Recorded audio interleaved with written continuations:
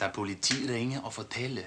I to henviser til mig, Emilio Gabo Costello, respektabel kunsthandler i København, så siger jeg til mig selv, jeg nægter, kender jeg ikke.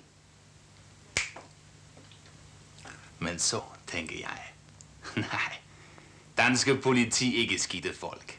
Danske fængsel som luksuspensioner, rekreationen, televisionen, delikatessen, amore. Så siger jeg til mig selv.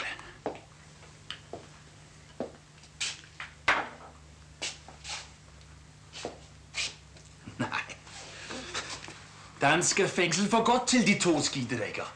De kan blive puttet i kasse og sendt til Don Luigi Volquera Gudfar. Forstået?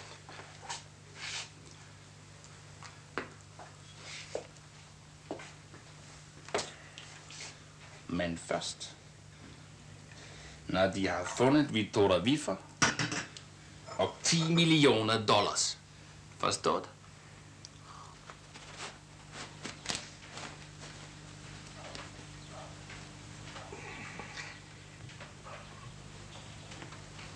Her, du må hellere få det hele med.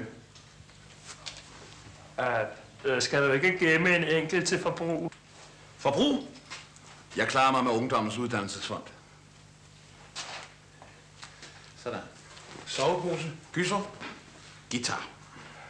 Ja, men uh, pas, pas godt på den, uh, for den tilhører kirkens strenge kor. Uh-huh.